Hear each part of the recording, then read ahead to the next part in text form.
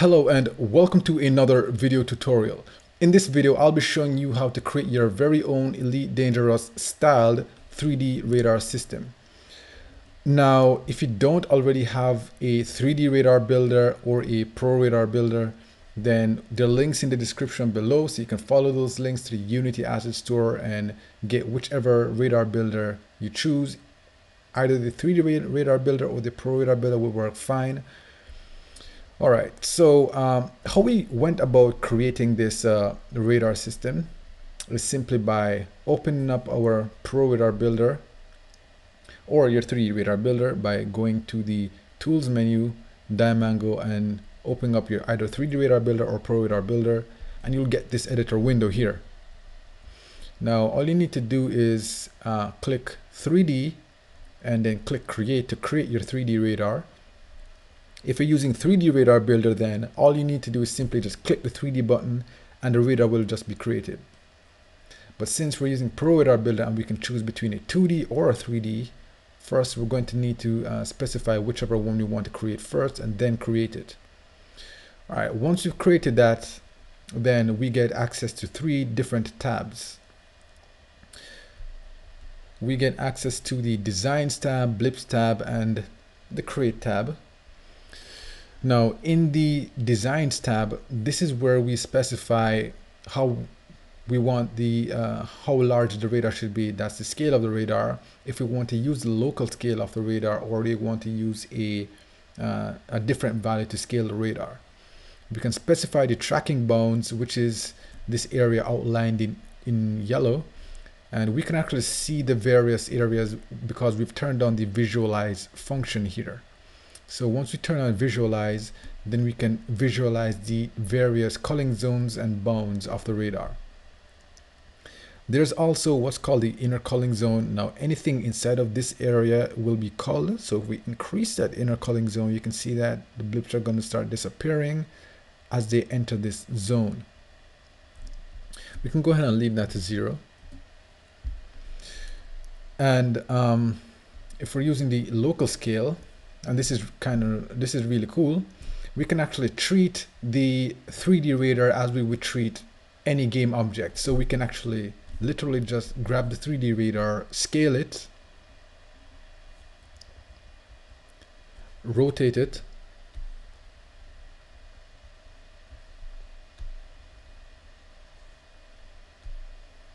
and position it however we want and we won't break the tracking that's one of the really cool things about the 3D radar builder. Uh, really the 3D radars in general. Now, um, if I hadn't mentioned, there are three different radars in the scene, the right radar, middle radar, and left radar. The right radar is doing position and rotation tracking of our player ship, which we're currently inside of. The middle radar is tracking the various objects in the scene. Um, these triangles are representing some uh, life objects in the scene. These little green ones here are rep representing some target objects which should be right above us. We'll go ahead and take a look at them in a little while. And the uh, these glowing uh, blips here these are the prefab blips.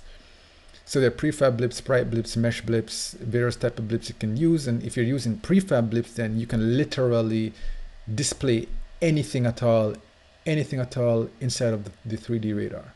Well, really because it's just prefabs. All right, so um, just gonna jump over to the blips area here. We have the middle radar selected. So we're only seeing the uh, settings for the middle radar here. Now we're tracking life, ammo, targets, and enemy. Now let's go ahead and turn these off really quickly. Turn these off. So we're only gonna be looking at the life blips here.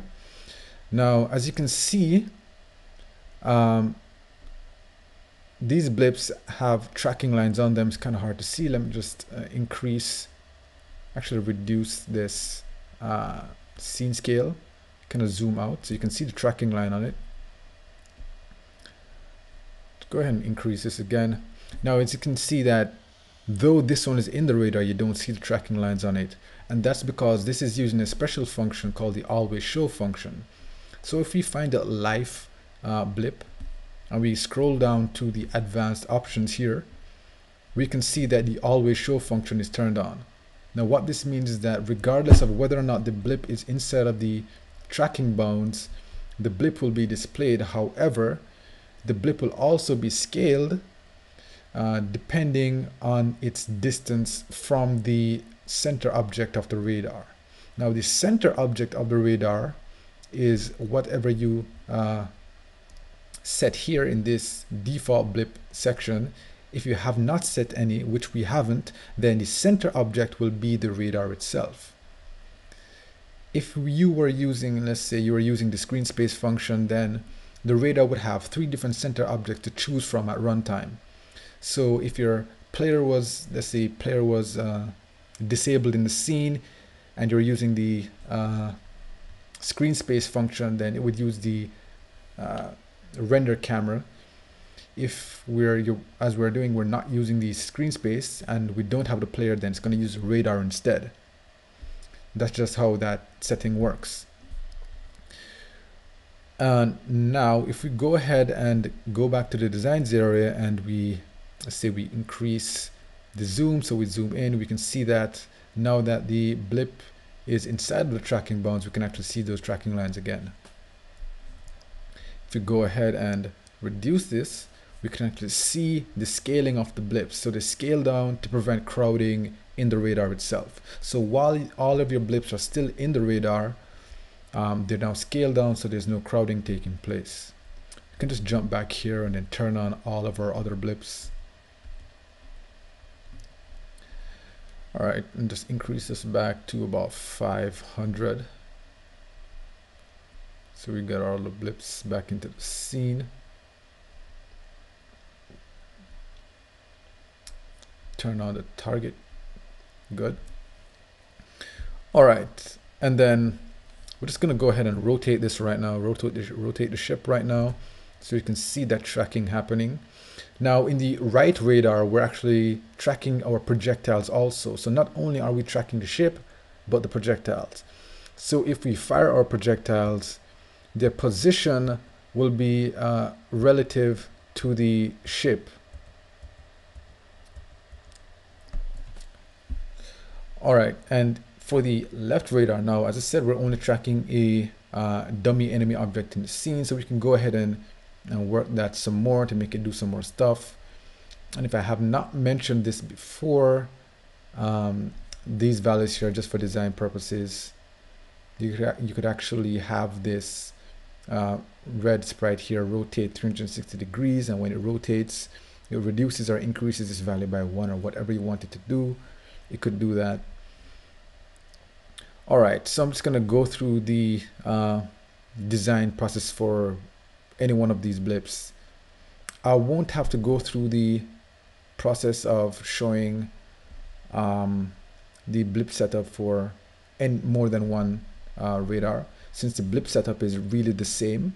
What I will show you is how we actually got this uh, mesh in here and here and how we actually set up the rotation tracking. All right, so I'm going to go ahead and turn these off. Actually, all right, yes.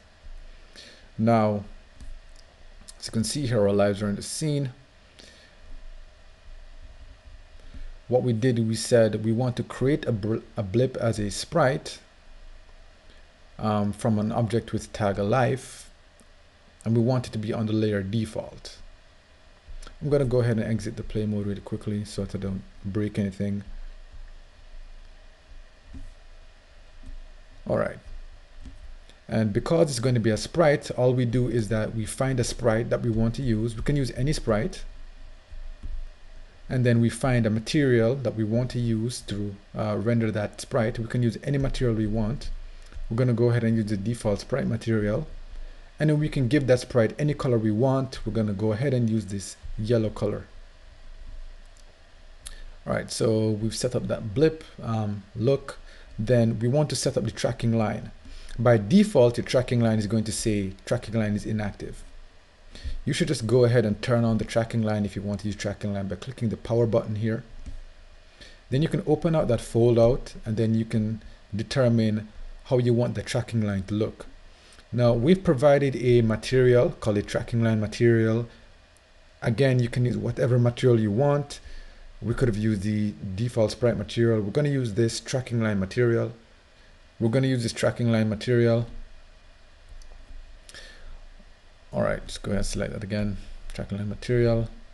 And we can determine if we want it to have a start color or end color.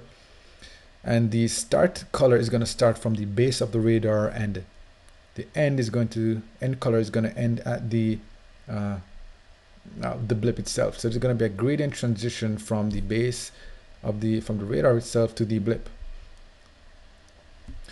all right. And we can also specify our base tracker. So this really um, uh, highlights where the uh, start point of the radar is on your start point of the tracking line is on your radar itself. So I'm going to go ahead and just quickly run this scene here. If we have this uh, blip turned on then I'll go ahead and zoom down on the uh, base tracker for the live blip. All right so we do have it turned on. All right good I'm gonna just zoom down on that. I'm feeling a little bit lazy, so I'm just gonna scale it instead. Actually, don't do that.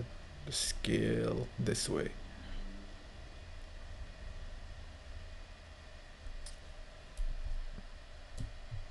All right, I'll just zoom in. So there we have that uh, base tracker right there. Just go ahead and uh, increase that scene scale. All right, so there's our base tracker right there.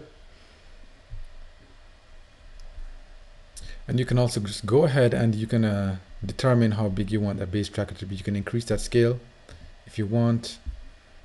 Um, you do that outside of the runtime. All right. So what we're going to do next is that since we've already went through how to set up the sprite and the tracking lines then we're going to jump now to the additional options, which we've covered. just a single function in here, which allows for you to have the uh, blip always be displayed in the radar. There's also another function here. I'm going to run the scene again, and I'm going to go into the rotation and scale settings, and I'm going to change a couple values at runtime and show you, show you what happens when we do that. All right, so in the rotation and scale, We've set the scale of the blip to 0.2. We could just change that if we wanted, or we could go ahead and use the scale by distance function here. And what this means is that there's going to be a minimum scale value. This could be 0 0.1, 0 0.1 being the minimum scale, and the maximum scale being 0 0.2. Now, um, when that radar actually passes the tracking bounds, it won't be scaled down below 0.1 or if you want that radar to want that blip to always be at point two then when you're actually uh, scaling the blip won't actually shrink down anymore. So you can do that if you want that blip to always have the same scale. Just gonna go ahead and use that uh, um, default value here of was it 0.1 0 0.1 yeah. All right. So that covers the rotation, uh, the uh, scale by distance function under rotation scale. Track rotation um, allows for you to track the rotation of the object in the scene and pass that rotation onto your blip. However, for sprite blips, we usually don't want to do this as if your blip, because we don't actually know the rotation of the object that we're tracking, if the blip rotates at an angle that's going to be that's going to make it hard for us to see the blip then we're not going to want that. So we're not going to want to use track rotation if we're using blips. But if we have a good understanding of what that rotation will be then we can go ahead and use it. Then we have some options of freezing the x y or z rotations of that blip. Now we've covered the rotation scale we've covered the additional options which is the always show and uh, tracking lines. Now I'm gonna talk a little bit about the prefab blips. So really all you do is just add your prefab blips to this and your blip will be a prefab instead of a sprite. But once you do that you also have to tell it to create the blip as a prefab mesh or or sprite. Currently we're set to sprite. Now on the mesh area, you can uh, actually have that blip be a mesh and you can have that mesh exist at uh, different LODs based on the distance of the blip from the center object itself.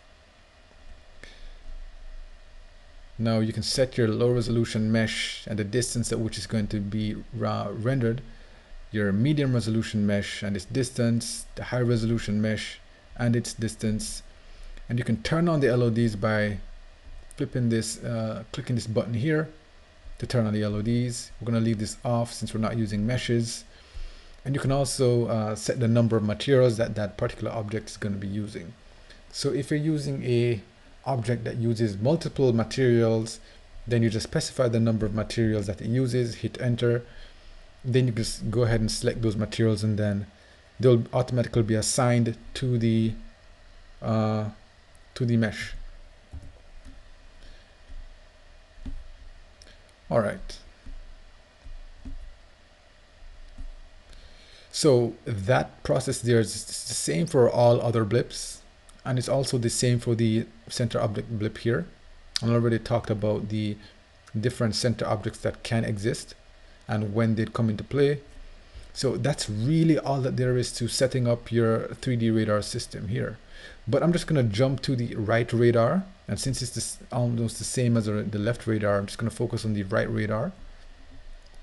So I'm going to go to the right radar now. And as you can see here, we're not using the uh, uh, center object here again. So our center object is going to be the radar itself. And also the uh, player is going to actually have its own blip in that radar itself. Usually the player would be the uh, center object, but it's not. We don't actually have that center object. Instead, the radar will be the center object. And we do this because we want um, the tracking to be uh, tracking of the projectiles themselves to be really accurate. Now I'm going to run the scene and show you exactly why I did this. And you're going to want to do this too if you're going to want to do uh, uh, particle simulation for like collisions so if our spaceship was to be shot right in, at the front here, then we'd also want to see a particle effect go off on the ship right here. Now, the best way to accomplish this is to make your uh, player object, since there'd usually only be one, uh, be represented as a blip. And just give it a, a nice scale. And uh, this one uses mesh blip. You give it a nice scale, give it uh, the materials that it needs. Um, we're not using LODs on this one. Then after you've done that, then what happens is that the uh, position of the ship uh, will be uh, relative to the radar divided by its, scene scale. And so too will the projectile, so that when they're fired, so we're gonna go ahead and fire these now so that when they're fired, they're fired from the relative, relatively uh, same position or the same exact position as they are fired from the ship itself. Now we could just go ahead. We want this if we wanted this to be uh, much more accurate. Let's go ahead and uh, zoom out here. I'm gonna fire my projectiles again.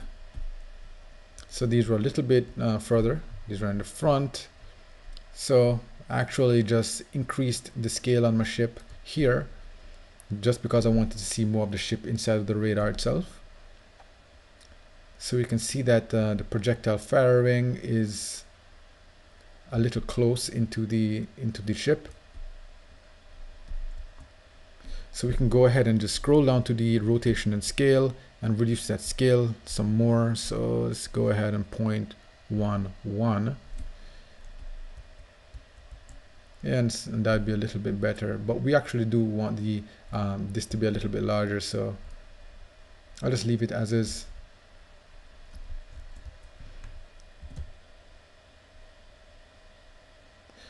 All right. I'm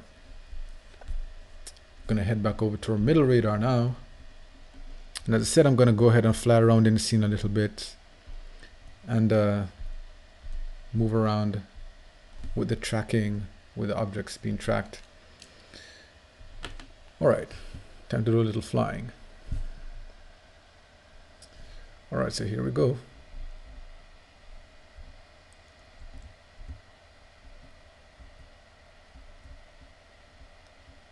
All right.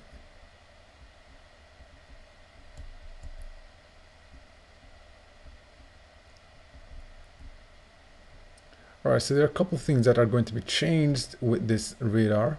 So we're going to be uh, adding some extra functions to the radar itself so that you can actually have some limits on the rotation of your of your blips. Because uh, for this particular example we don't want this ship to be uh, rotating um, 360 degrees. We want to limit that to about 60 degrees and that's actually quite simple to implement so I'm going to add that to it so that we can have that function.